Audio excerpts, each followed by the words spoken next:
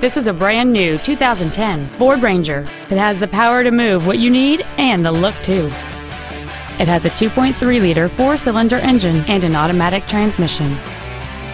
Its top features include a folding second row, a low tire pressure indicator, a stability control system, and this vehicle's stylish design always looks great.